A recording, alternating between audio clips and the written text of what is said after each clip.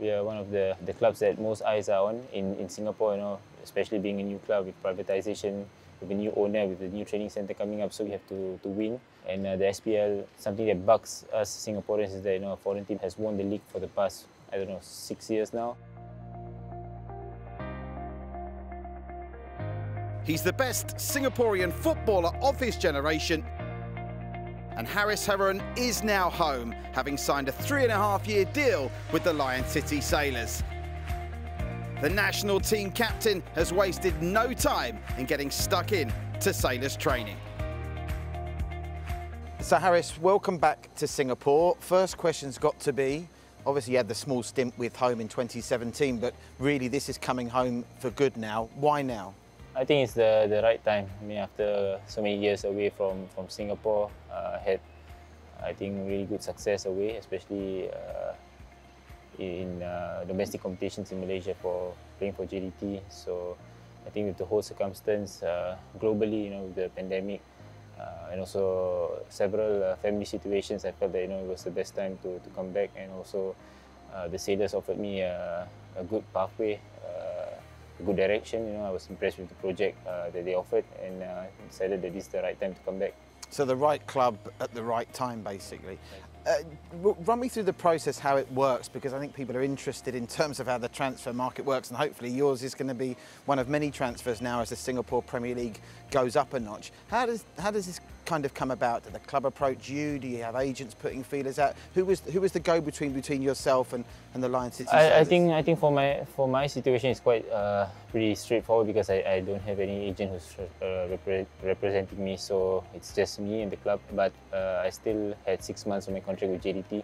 So I had to speak to the club on my uh, with my situation and, and, why I wanted to go back, and I was just uh, lucky that you know they accepted my uh, my reasons and, and it was mutual between us, me and the club, JDT. So once that was done, I think it was quite straightforward. LC, uh, Lion City Sailors came on board and gave me a, a good offer, a good vision and, project ahead. And I, I thought it was, very similar to what uh, JDT was when I joined them in the beginning. So uh, I think that was the pull factor, that was the appeal for me. And uh, even more so because it's it's my home country, you know, it's back home in Singapore. I can have the chance to come back to, to contribute to, to something special, I feel.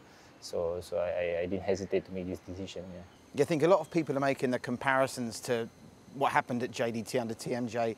Um, you know, at the start of the last decade, it was now, and obviously what's happening here with Forrest Li and the great team at the Lion City Sailors. Yeah did you see similarities in the pitch? Because obviously the club will tell you what their plans are. We've already seen the training uh, centre being developed at Mattar Road.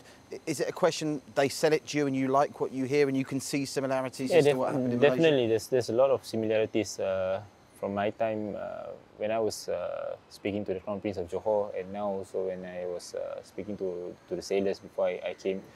Uh, what they're trying to do is pretty much similar. The, the state of uh, JDT, when I joined them, we didn't have a training center, a proper training center. We didn't have um, uh, dressing room for the players. So, but that came gradually, you know, with the, the Crown Prince, his vision, his project, and he built up. He he he walked the talk. You know, he, he, he meant what he said, and he did what he said he would do.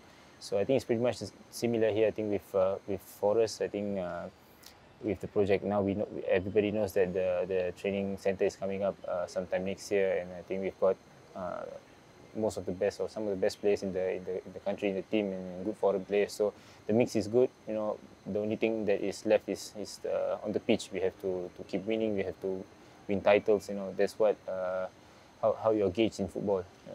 I think you know, obviously what you've achieved in Malaysia is incredible. You won the, the, the Malaysian Super League with the Lions 12, then what is it, six plus one, isn't it? Six with JDT and then one with the Lions 12. Um, what ambitions do you have left? I mean, obviously, ironically, you haven't won the Singapore Premier League. I'm sure that's on the agenda. But, you know, at 30 years of age, a three and a half year contract that will take you up to 34, you know, you know you've obviously still got the hunger. Yeah. But what do you now want to achieve? Is it the SPL? Is it the AFC Cup? Do you, you want to try and help the national team back to where they once were? I think it has to be very straightforward. I mean, we are, we are one of the the, the clubs that most eyes are on in, in Singapore, you know, especially being a new club with privatization, with a new owner, with the new training center coming up. So we have to, like I said, uh, walk the talk now. We have to, to win. And uh, the SPL, I think uh, something that bugs us Singaporeans is that, you know, a foreign team has, been, has won the league for the past, I don't know six years now. So It's longer. That, yeah, there's And, some. and the Warriors were the last two, and now, of course, they're not even here yeah, anymore. pre- precisely. So the, the, for, for, for us, I think that's that's got to be the, the main or primary target right now to, to try to win the league, and uh, also we have that uh, extra incentive where you know the highest or the best local team has the opportunity to play in the, in the Asian Champions League. So for this uh, for this club to grow and, and, and to improve the stature. Not only in Singapore but in the region, I think we have to play at the highest uh, highest level in, in Asia. So that, that that's the, the target, the motivation for us. We have to try to, to dominate uh, consistently here in Singapore, so we have the, the chance to, to, to mix it with the big boys in Asia. And I think that's where you, you, you are going to come to the party here at a perfect time. You've seen the level of professionalism go up a notch in Malaysia. You mentioned the foreign influence on the SPL. I think Albirex four of the last five seasons. When I think, I mean, I'm not statistic, I was not sure on the statistic. They're the, the lowest paid um, squad in the league. Obviously, the Lion City Sailors, it's no secret, are going to be the highest paid squad in the league. So is it safe to say you're only joining partway through the season? Anything other than winning the league this season is a disappointment for the yeah, Sailors? yeah, I would say so uh, because I think we have to set up, we have to be demanding of ourselves, demand uh, uh, from uh, one, an- one another the best. You know, we had nothing but the best during the trainings, during the games. So I think it will it will show uh, in the results that we're going to achieve. So I think with with uh, Albirex, we know uh, what they're known for, the professionalism uh, on the pitch. I think that's something that uh, for, for Singapore teams to follow. But for us right now, I think in the country, right, right now in, in this moment in Singapore, we have everything that's, that's the best. You know, from off the field to on, on, on the field, the players that we have. So we, we have to, to you know put everything aside, just focus on football, try to get the, the job done on the field, and then win those titles. Uh, There's a lot of negativity. I mean, around football. I mean, it's part of the narrative of football, isn't it? There's always debate. There's people saying one thing, other people saying another.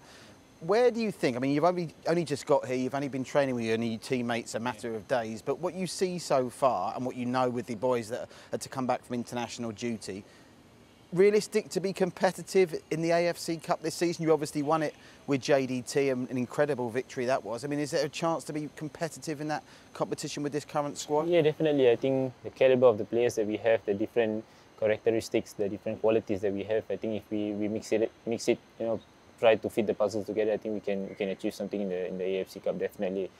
The the only um, downside I would say is you know we have to try to get the give the boys as much. Uh, to get them as sharp as possible because some of the boys not don't, don't have the minutes in their legs, you know. And that's crucial when it comes to a higher level, like especially in the in the AFC Cup. So we have to find a way. But I think we have lots of players, and, and you know, like, like I say, if we can fit the puzzle well, I think we'll do really well in the AFC Cup. Are you going to be captain? Has that been decided yet? Uh, no, that's not decide, uh, decided yet. But to me, to be honest, it, it doesn't really matter. I think we already have the captains in the team now, Hassan and, and Shahdan. So I think it's, it's best that we continue that way. And again, you know, trying to get the tactics out of Robin, and of course the new coach that is going to arrive soon, Kim Do Hoon, isn't easy.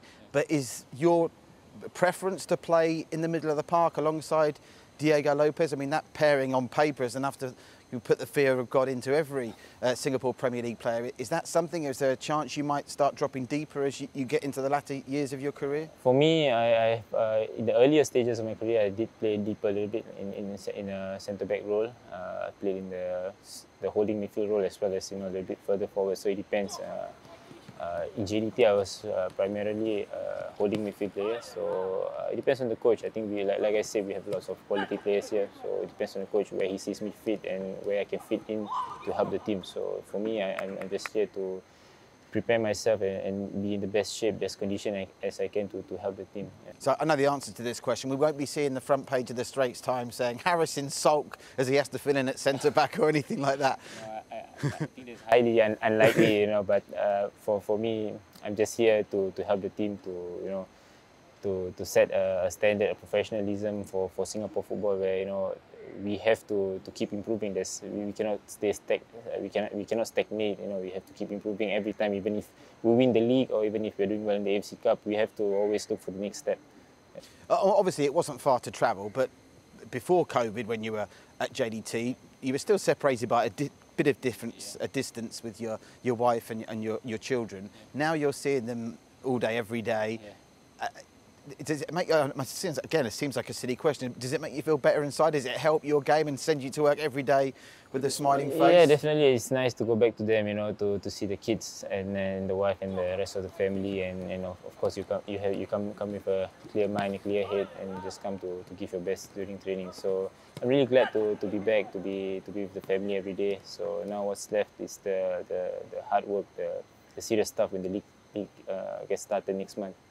Right. If I said to you 2012, what's the first thing that comes into your mind? If I said the year 2012, We won the Suzuki the Cup. Suzuki yeah. Cup, which brings us obviously to the to the international team. And again, 30, you've still got many years in the in the heart of the midfield for Singapore.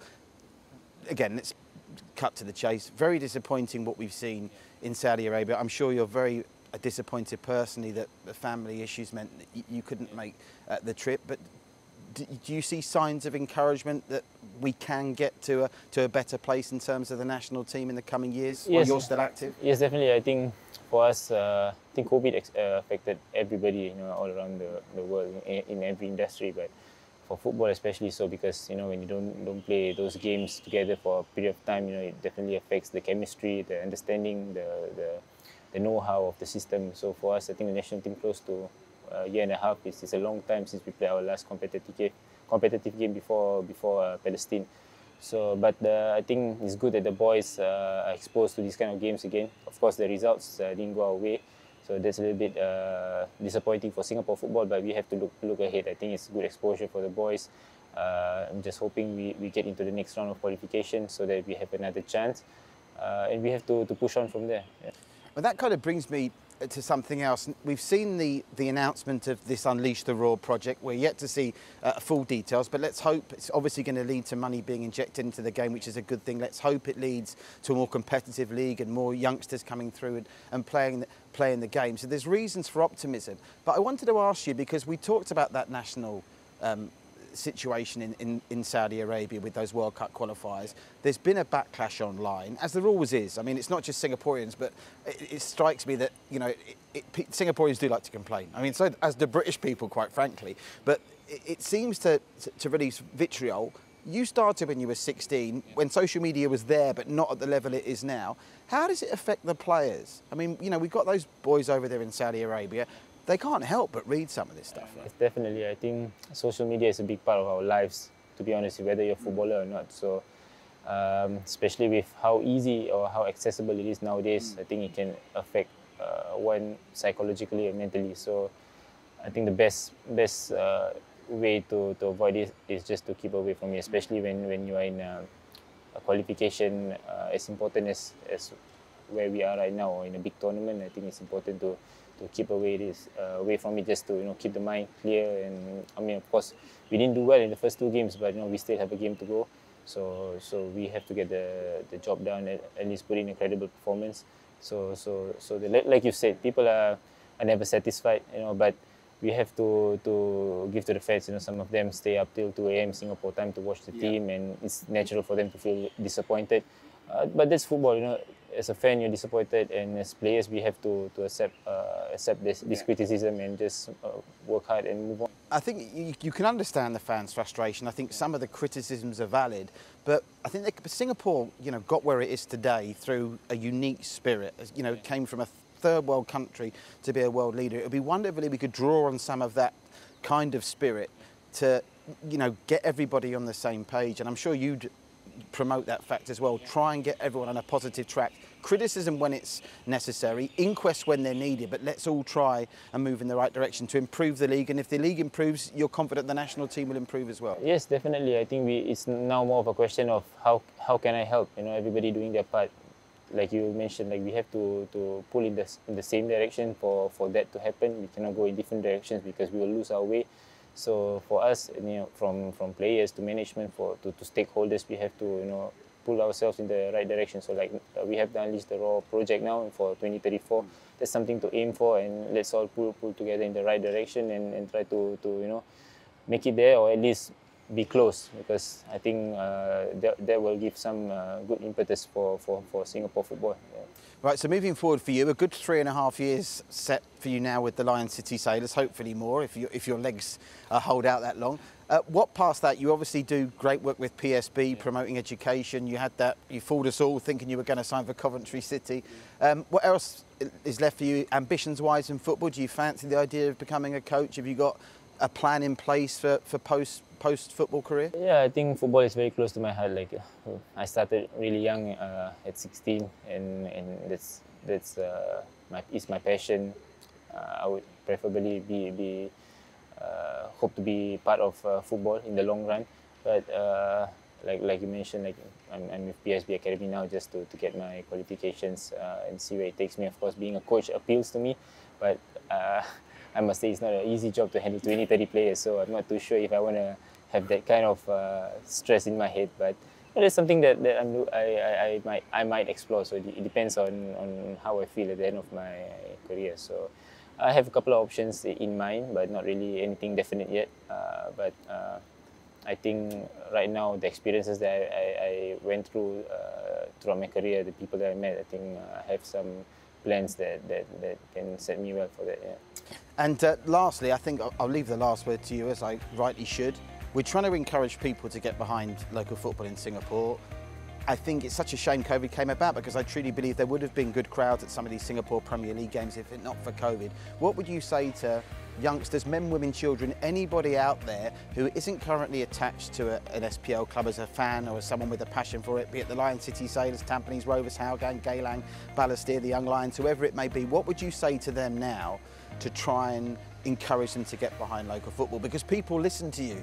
Yeah, I think, I think everybody has to play their part. You know? Like the fans, the players, the management, like I mentioned before, uh, come down, give the players a boost. You know, uh, I know sometimes uh, it's not the best it's up, there are many highs and lows, ups and downs in a footballer's career. It's the same in, in terms of performance and results. But I think the support of the fans will go a long way in boosting the, the, the, the players' morale and motivation on the field. When you see a full house stadium, uh, when you feel when you see it's, it's back to the rafters, it's it's, uh, it's a boost to your confidence immediately. And I think when we we, we played uh, Palestine, Singapore played Palestine here, and it was full like yeah. on both sides. And we came out for for warm up, and we were so pumped up to, to get going, and we played a really good game. So so I think it will give us a, a, a shot in the arm, you know. So so I hope the fans can play their part, and we we uh, players will do our, our best as well, you know, to keep, put out good performance and good results for, for them to, you know, something to cheer about. Let's hope Jalan Besar and in the future the Singapore National Stadium post-COVID are rocking. Uh, I'm glad you said that because I sat on commentary. No one listens to me and they shouldn't listen to me either, but they'll all listen to you, Hariss. All the best. Welcome home back to Singapore and we look forward to seeing you in a Lion City Sailor shirt throughout the rest of the next three and a half years. Cheers, mate.